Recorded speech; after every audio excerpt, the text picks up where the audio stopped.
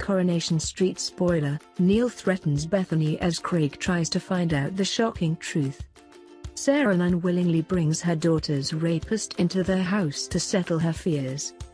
Bethany Platt's is set for more emotional pain in tonight's Coronation Street when dodgy copper Neil pays a visit. Sarah unwillingly invites her daughter's rapist round to the Platt's for a chat to settle her fears about sick Nathan's imminent release.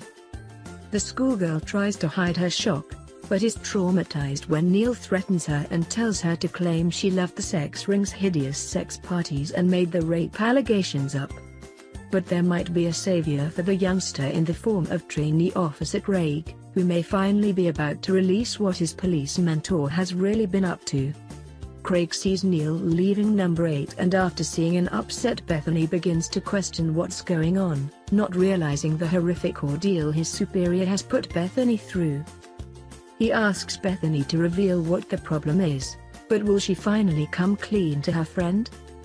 Meanwhile, Erica and Kevin could be about to embark on a sordid affair after relationship troubles throw them together at a hotel. Erica is fed up of Dev, while Kevin fears things are over with Anna as she recoils every time he goes near her.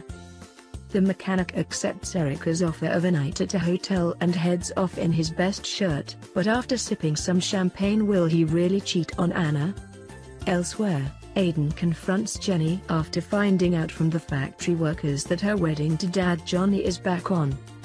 Also tonight, Steve sings Liz up for various courses at the community center but she reveals she has a new job as a receptionist at the community center. Finally, Mary confront Norris with a letter addressed to Mr. and Mrs. Cole. Cole